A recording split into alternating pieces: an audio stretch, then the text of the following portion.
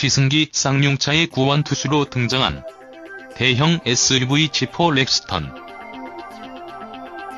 시승기 쌍용차의 구원 투수로 등장한 대형 SUV G4 렉스턴.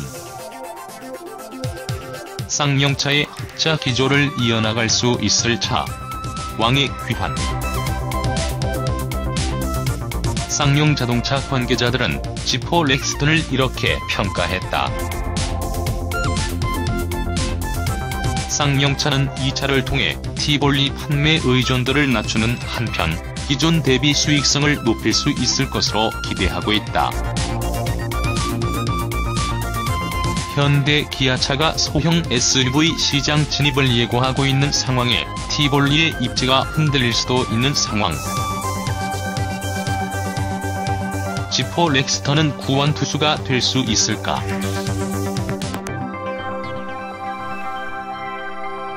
경기도 고양 엠블 호텔에서 파주 임진강 유역까지 왕복 120km 구간에서 지포 렉스턴을 시승했다. 대형 SUV 다운 덩치. 존재감 더 높았으면. 지포 렉스턴은 첫인상으로도 크다는 느낌을 불러일으키기에 충분하다.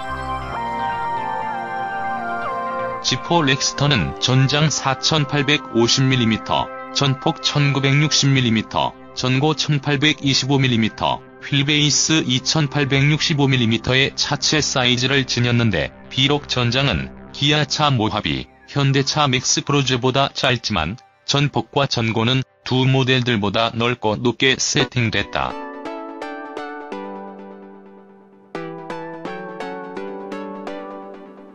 차체가 높고 넓은 탓인지 크롬으로 도금된 20인치 휠이 존재감을 보이지 못하는 게 아쉬운 점이라면 아쉬운 점이겠다.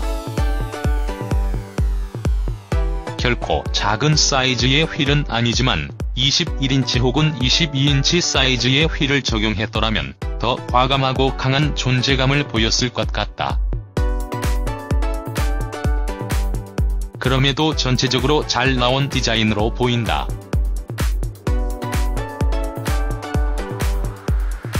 숄더윙 그릴은 쌍용차의 아이덴티티로 잘 자리 잡았다.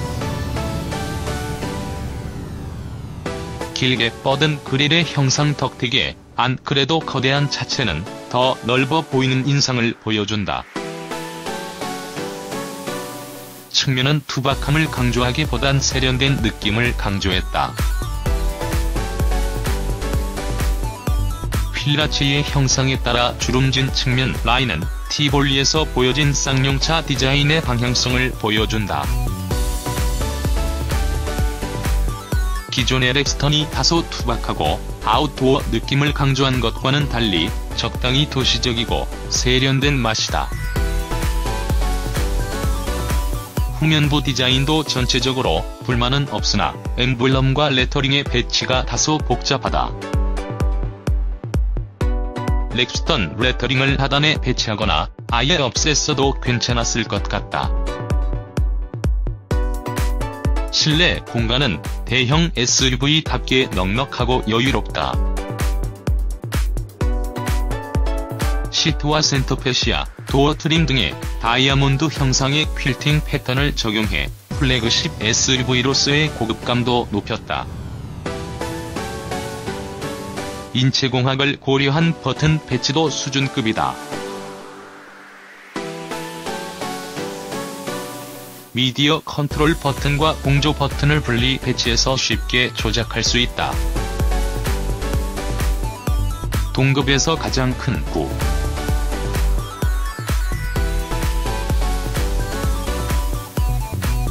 2인치 대화면 스크린은 시원시원하고 7인치의 TFT LCD 클러스터의 시인성도 높다. 등받이 각도를 조절할 수 있는 2열 공간도 부족함이 없다. 이 눕다시피 시트를 젖힐 수 있기 때문에 넉넉한 공간을 영위할 수 있다는 점은 G4 렉스턴이 강점이다. connected 기술, 동급 최고 수준 안전성, 눈길 쌍용차는 스마트폰, connected 측면에서 애플과 구글이 허용하는 범위 내에 최대한의 것들을 구현해냈다는 입장이다. 2인치 터치스크린을 통해 구현되는 애플 카플레이, 안드로이드 미러링 서비스가 그것인데 특히 국내 스마트폰, 시장에서 점유율이 높은 안드로이드 디바이스의 경우 와이파이를 통한 연결은 물론 모든 앱을 양방향에서 즐길 수 있게 구현됐다.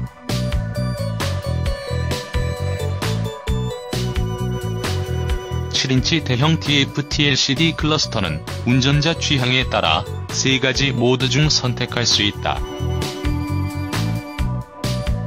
주행 속도와 연계하여 역동적인 차선 움직임을 보여주는 애니메이션 모드 아날로그 타코미터 형식의 RPM 연계 모드 심플하게 속도 데이터를 표시해주는 일반 모드를 제공한다. 이 밖에도 각종 경고음과 turn signal 등은 운전자의 취향에 맞게 설정할 수 있도록 각각 5가지가 제공되며 음량은 3단계로 조절 가능하다. 쌍용차는 G4 렉스턴을 소개하며 안전성 측면에서도 강한 자부심을 드러냈다. G4 렉스턴은 2열 사이드 에어백과 운전석 무릎 에어백을 포함 총 9개의 에어백이 탑재됐는데 이는 동급 SUV 중에서는 가장 많은 개수다. 차체 설계에서도 고강성 소재를 적극적으로 활용해 강성과 경량화 모두를 잡았다는 설명이다. 포스코와 협업을 통해 개발한 쿼드 프레임에는 1.5GPa급 기가 스틸을 세계 최초로 적용했으며 590MPa급 초고강도 스틸은 세계 최고 수준인 63%가 적용됐다. 쌍용차는 이를 통해 KNCAP 기준 1등급 평가를 받을 수 있을 것으로 기대하고 있다. 아쉬움 없는 출력, 변속기는 부드러움 강조. 지포 렉스턴에 적용된 2.2L 디젤 엔진은 최고 출력 187마력, 42.8kg, M의 최대 토크를 발휘하는 데 최대 토크는 경쟁사 모델들보다 낮은 구간에서 발생한다. 이를 통해 실용 영역에서의 가속 성능, 정숙성을 확보했다는 게 쌍용차 측의 설명이다. 실제로 주행에 나서면 출력에서 오는 스트레스는 전혀 없다. 비슷한 덩치의 현대차 맥스크루즈가 45kg.m의 토크를 발휘한다는 점을 상기한다면 가속 성능 등 실용 영역은 나무랄 곳이 없다.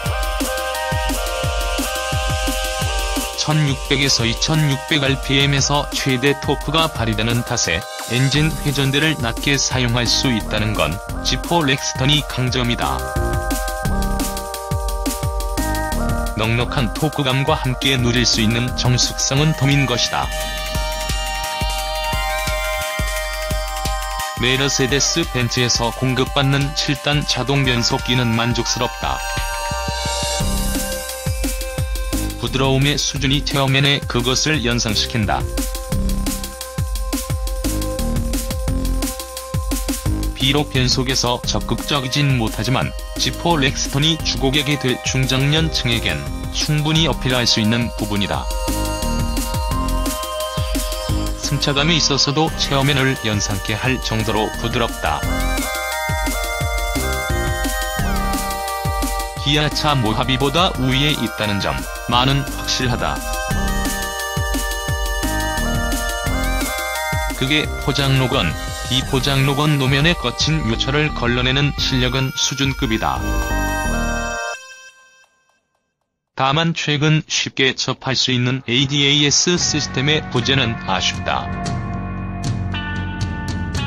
차선 이탈 방지 및 조향을 보조하는 LKAS까지는 바라지 않지만 flagship SUV인 만큼 차간 거리를 조절할 수 있는 adaptive cruise control까지 바라는 건 욕심일까?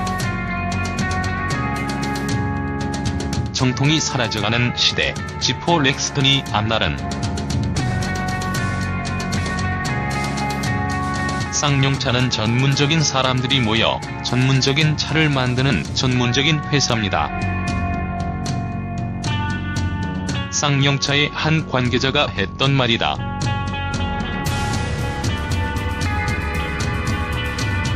지포 렉스턴은 그런 의미에서 쌍용이 가장 잘할 수 있는 SUV 분야에서 최선을 다한 차다. 쌍용차는 SUV를 전문적으로 만들어왔고 후륜구동 기반의 고급차나 사륜구동 차량 개발은 시장을 선도하는 현대차보다 먼저 시작했다. 이런 노하우의 숙성도 측면에서도 지포 렉스턴이 지닌 가치는 상당하다는 생각이다. 마침 공교롭게도 전 세계적으로 SUV 열풍이 불어 닥치고 있다. 작년 국내 시장에서 판매된 차량의 10대 중 4대는 SUV였을 정도로 인기도 높다. 쌍용차로선 골든타임이다.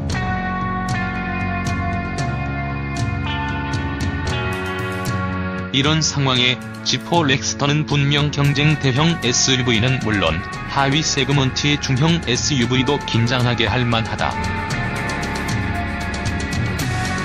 3천만원 중반에서 시작하는 가격 정책은 마침 full change 주기가 임박한 산타페와 소렌토에게도 위협이 될 것이란 생각이다. 회사의 여건 상다른 기업들보다 뒤처질지언정 오리지널을 고수하고 자신들만의 길을 개척해가는 쌍용차의 정신은 분명 박수를 쳐줄 만하다. 한때 무소가 다카르 랠리를 완주하며 쌍용차의 전성기를 이끌었듯 사실상 쌍용차의 플래그십 역할을 맡은 지포 렉스턴이 다시 한번 다카르 랠리에서 질주하는 모습을 기대해본다.